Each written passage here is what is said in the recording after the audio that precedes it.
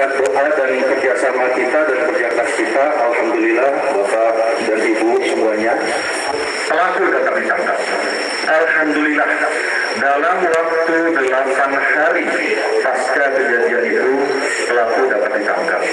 Semua itu tidak terlepas daripada ikhtiar dan doa kita.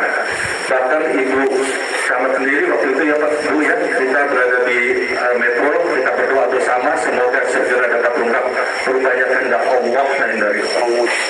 mengucapkan banyak terima kasih kepada seluruh pihak terutama kepada jajaran Kapolres Lampung Timur yang telah mengungkap kasus ini.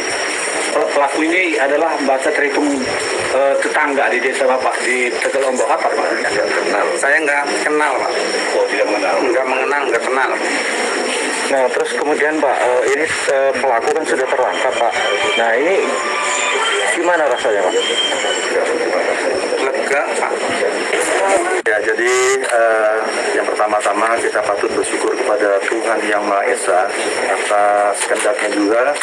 Upaya ikhtiar daripada tim kami yaitu tim Sekap 308 dari Satreskrim Polres Lampung Timur dan juga di backup oleh Polda Lampung dapat melakukan penangkapan, pengejaran dan penangkapan terhadap seorang pelaku yang patut diduga adalah pelaku kasus pencurian dengan kekerasan yang dilakukan pada hari Jumat tanggal 21 Januari 2022 di agen BRI Link di desa eh, desa Tambah Subur, Kecamatan Waibungur, Kabupaten Lampung Timur pada pukul 17.15 yang mengakibatkan keluarga kita atau saudari kita yaitu Leli Agustin eh, meninggal dunia di tempat.